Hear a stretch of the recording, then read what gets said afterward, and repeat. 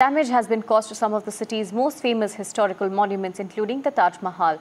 Now, there are reports of hairline cracks in the Taj Mahal. The ASI has placed its team on high alert after water was seen seeping from the main dome of the Taj Mahal. The surrounding gardens were also heavily flooded due to the rains. My colleague Shreya brings us this ground report. Take a look.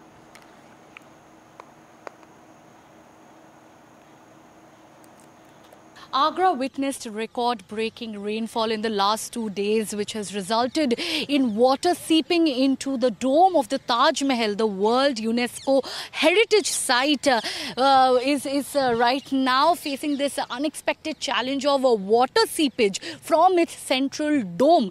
On Thursday itself, the Archaeological Survey of India officials uh, sprung into action and uh, conducted a probe and said that there could be a hairline crack in the dome from which the water is uh, see, uh, is leaking. And the rainwater is leaking into the Taj Mahal uh, on the mausoleum of uh, Shah Jahan and Mumtaz. And remember, this is the 17th century archaeological marvel, and the surrounding garden area of the Taj Mahal was also inundated with the rainwater because of the torrential rain uh, that occurred uh, uh, in the last two days. And uh, the visuals of which were widely shared on social media which is quite embarrassing in itself because the Taj Mahal is seen as a symbol of pride and love for not only Agra but for the country.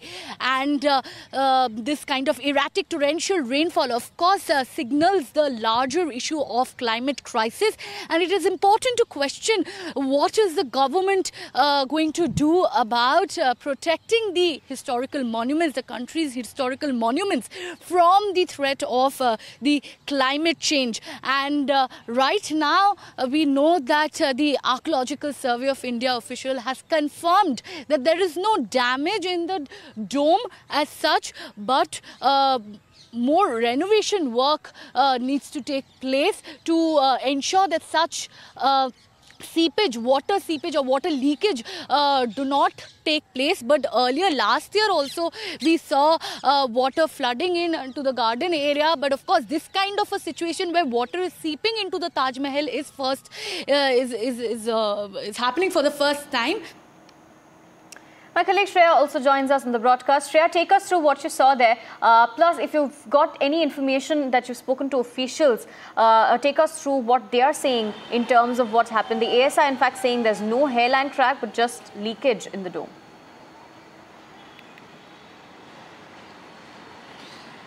That's right. Uh, the ASI officials have confirmed that there is no damage in the dome. There is no hairline crack as such. Uh, but uh, it, the, the, water leaked into the Taj Mahal because of uh, water seepage. And uh, they sort of conducted a survey uh, inspection on Thursday itself with the help of drone cameras. They checked the dome of the Taj Mahal and, and, and, and claimed that there is no hairline crack. Although the question is that if there is a water leakage into the mausoleum of Taj Mahal, uh, of uh, Shah Jahan and Mumtaz inside the Taj Mahal, then of course the water uh, seeped into through a certain crack. It has to, there has to be certain, uh, there has to be a certain uh, crack for the water to seep in. But uh, the ASI officials have claimed that there there is no hairline crack in the dome, and they have they have also assured that they will make sure that these this this kind of situation does not arise in the future, and they will make certain damage control.